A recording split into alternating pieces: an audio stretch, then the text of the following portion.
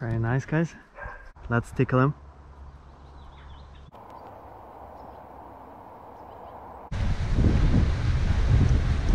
Yes guys, yes.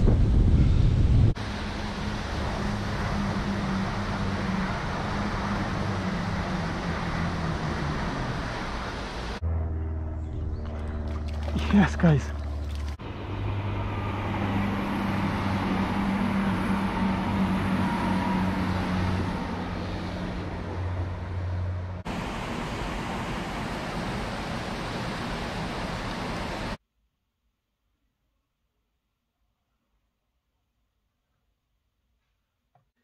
Hello guys, today we're making a red bloodworm out of glass beads.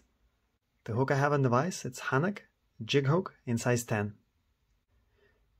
I have 3.3 mil tungsten bead and these glass beads, they're 2 mil in diameter.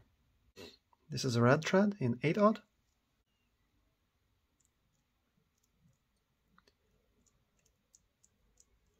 About 6 turns or so. Bring it back to the bead. This is a spool of your normal red sewn thread. I'm using this thread to tie bigger flies. And what I've done, I cut a, cut a bit of it off. Cut it in half.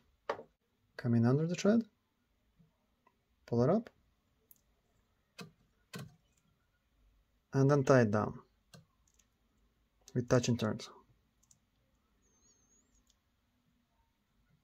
Here we go.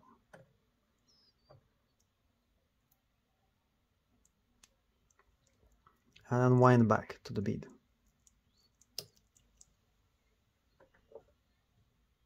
And now we're going to cut it short.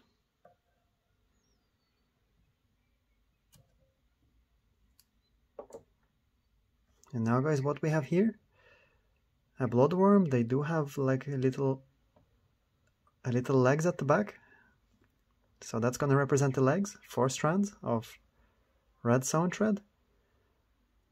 And also this here at the back, the thread, it won't allow the beads to slide off. Let's build up a little dam at the back and we'll be ready to go. Now from here, straight into the whip finish.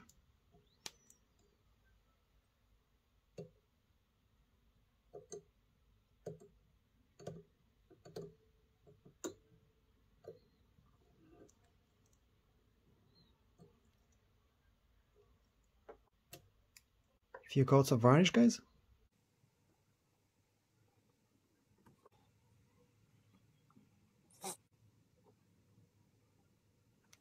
Wow, guys, that's one of the fastest ties that I made.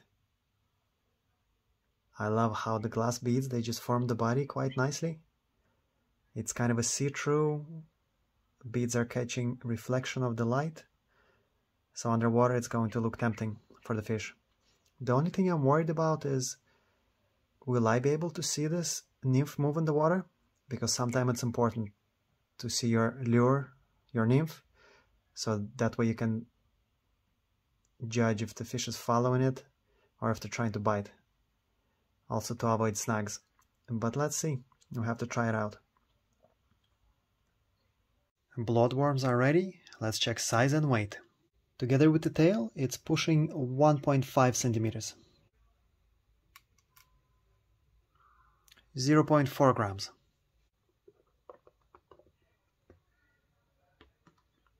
Let's put them on the box and take them out fishing. I think I will put them next to the Midge bloodworm.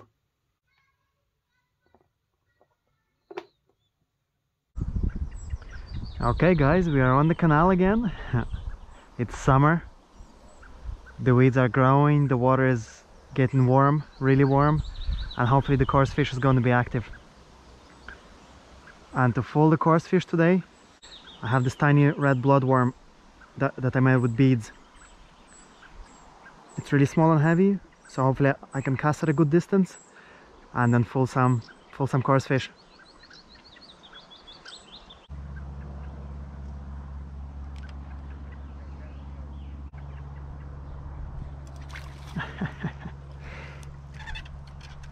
Came out out of nowhere, the old perch. First fish of the day, guys. Let's tickle him. Yeah.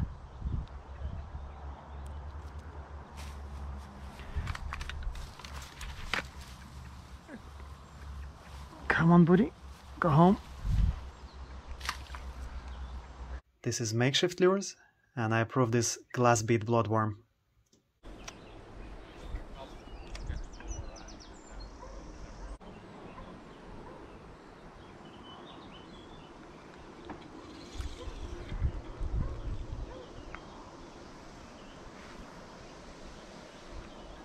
That's not the fish I want, guys.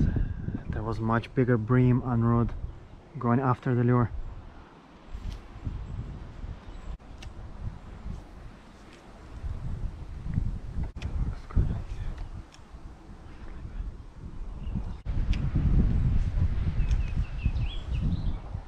Guys, something crazy is happening. Every cast I make, nearly every cast, a big rudd or a big bream comes out, circles around the nymph, and then goes back. I might have to change my retrieve or change the color of the nymph or a pattern.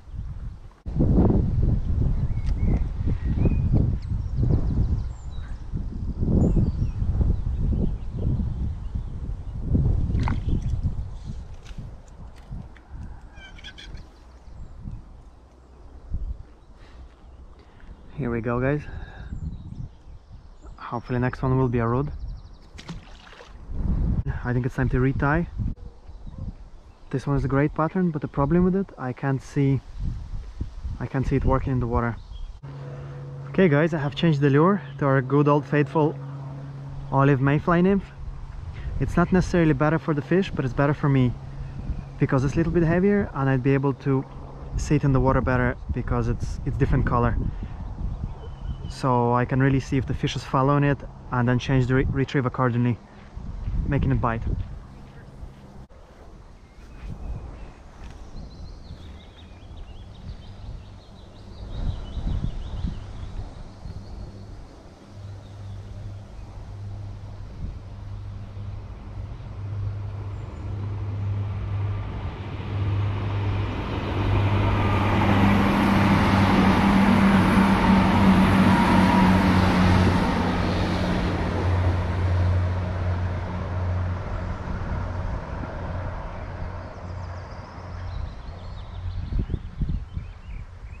Oh no.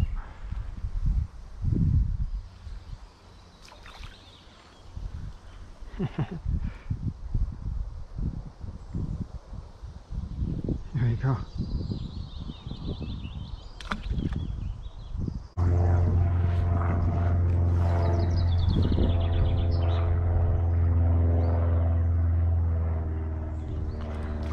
Yes, guys.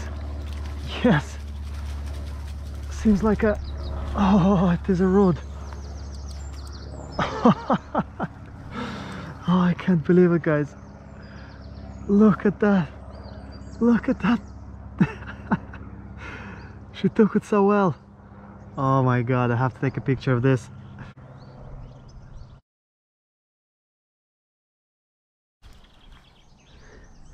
Okay. I'm gonna toss it. Hopefully it won't hurt her too much. There you go.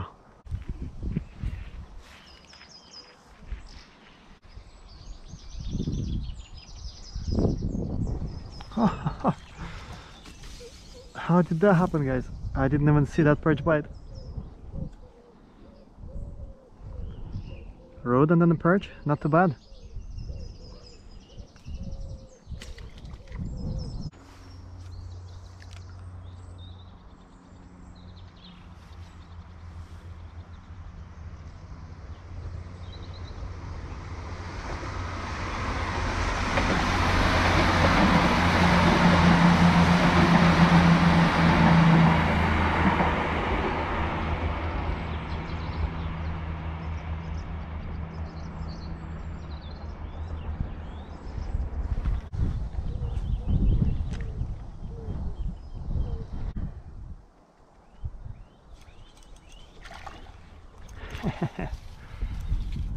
There's the perch, guys. couldn't resist it. Took it pretty deep. My god.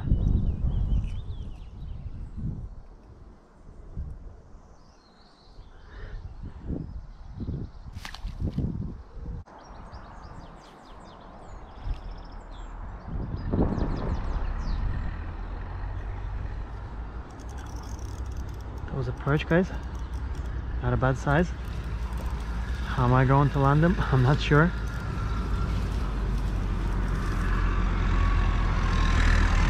That's not bad you guys.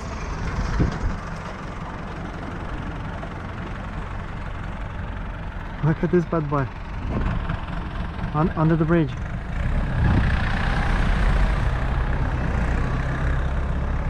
Very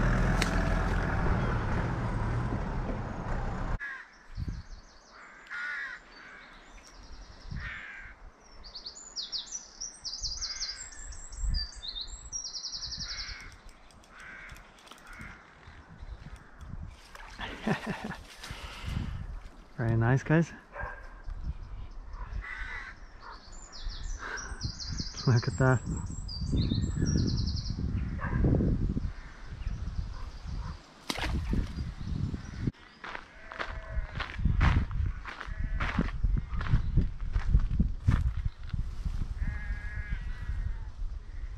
Look at these guys, that's a mushroom.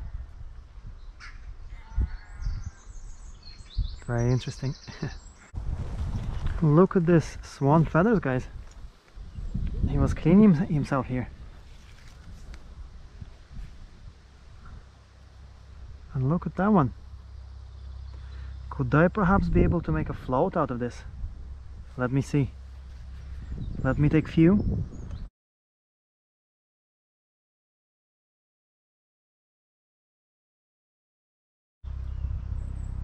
Here we go guys. I will try to make a float out of this bottom part.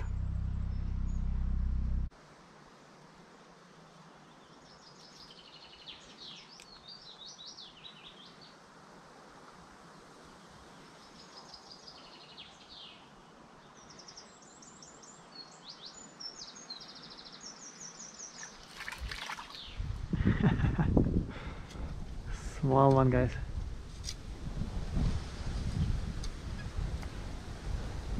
Look at that. Canal, perch and a swan.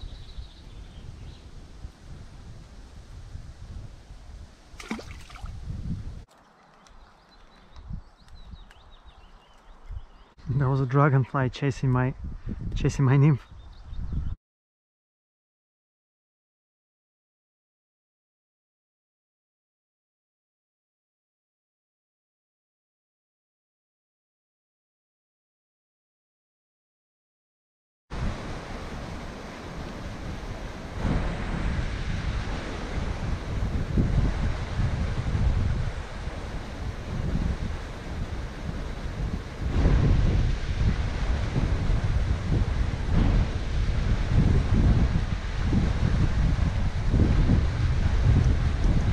Yes, guys. Yes. Ah. My God. It happened. I saw it bite twice. Let me get the net. Hopefully we can land them. It's a rudd and a bream.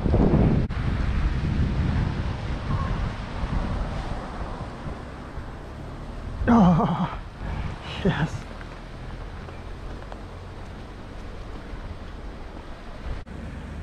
Wow, look at that. Let me take a quick picture.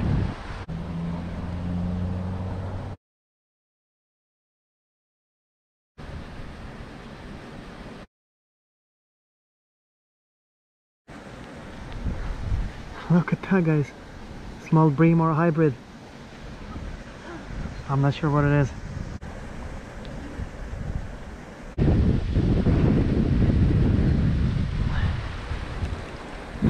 There he goes guys. Unbelievable. He came out right under the that corner where there's weeds and rubbish. Look how slimy he made the line.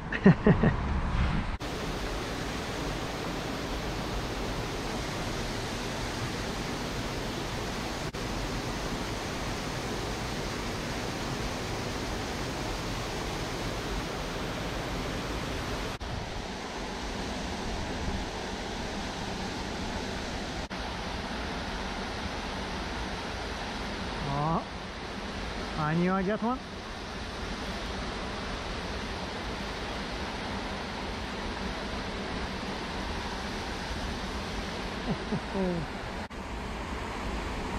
Here we go.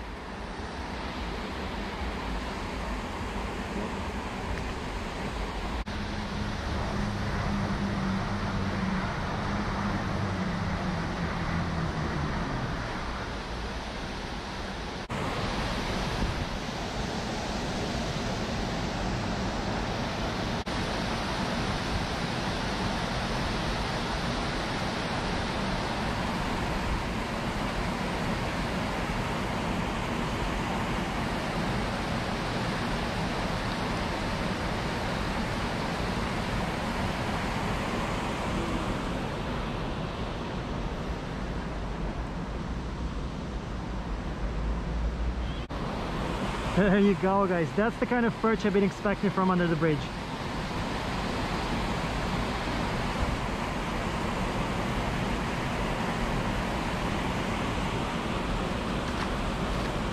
Lovely.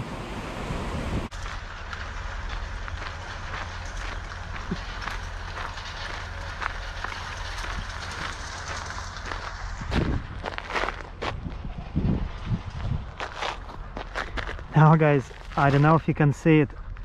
I have been noticing this occurrence for a few years now. This is a leech. It seems that it's crawling this way. So it's crawling away from the canal. Canal is there. There's the field. And the leech, guys, it's crawling this way. That's amazing.